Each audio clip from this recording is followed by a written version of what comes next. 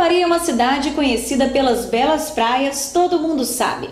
E você já ouviu falar em cunicultura? Nós vamos para o interior de Guarapari conhecer essa atividade praticada pelo seu Itamar Santa Clara. Vamos com a gente!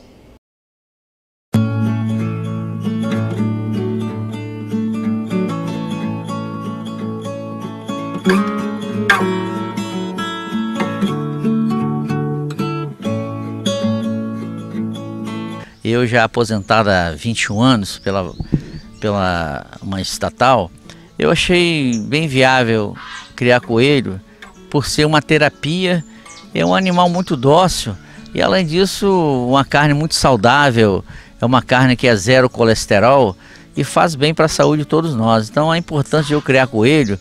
É a facilidade, porque é, anos anteriores eu já criei gado confinado, algumas cabeças de gado confinado aqui na chácara, e por falta de mão de obra especializada, eu desisti, vendi o gado e apelei para o coelho. O coelho é um animal bem dócil, mais fácil, mão de obra zero, que eu mesmo cuido, eu e a Gisela. Então, com isso, fortaleceu os elos, eu e a Gisela. Nós estamos criando coelho de grande porte. As raças bem conhecidas no mercado, a carcaça é, bem avantajada. O coelho adulto hoje ele está dando 10 quilos, coelho gigante. E com isso é bem aceito no mercado para nós. Ah, já tem seis meses que eu estou com a criação de coelho e graças a Deus nós estamos indo de vento em popa.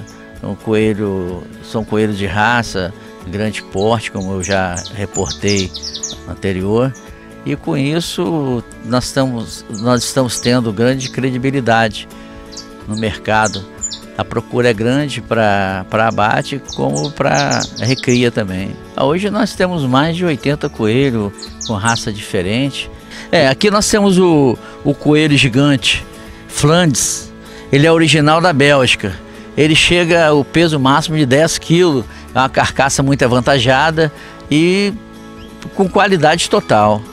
Temos também a raça de coelho borboleta, é um lindo coelho é uma pele muito procurada no mercado para confecção de bolsa, entre outros.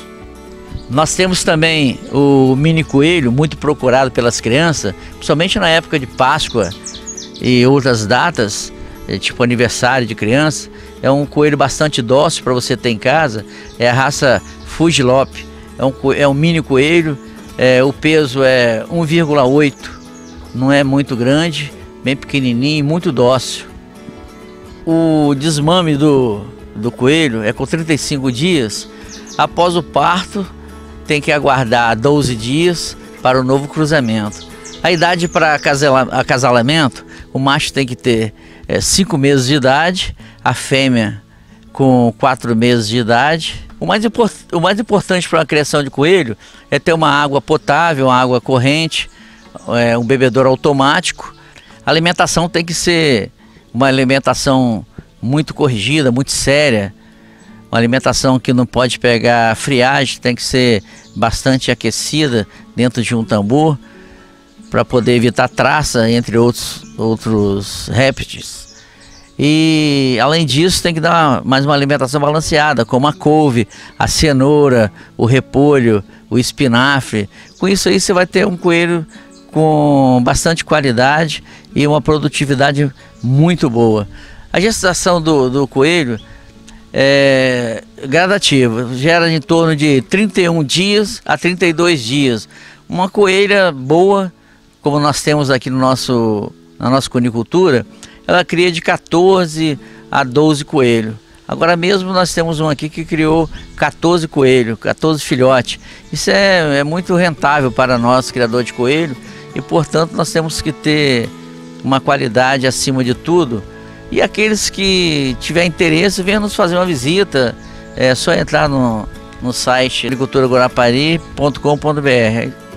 Vocês terão mais informações técnicas e será um prazer informar aquele que estiver interessado.